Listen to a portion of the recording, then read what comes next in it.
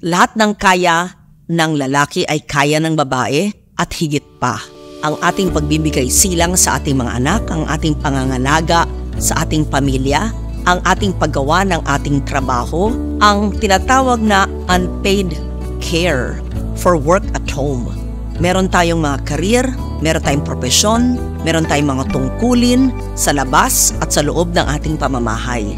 At higit pa dyan, inaalagaan pa natin ang ating pamilya, ang ating mga senior citizens at elderlies, ang ating anak, ang ating tatay, nanay, kapatid, pamangkin, at pati ang mga pamilya ng ating mga extended families. Kaya napakalawak at napakalaki ng ating responsibilidad.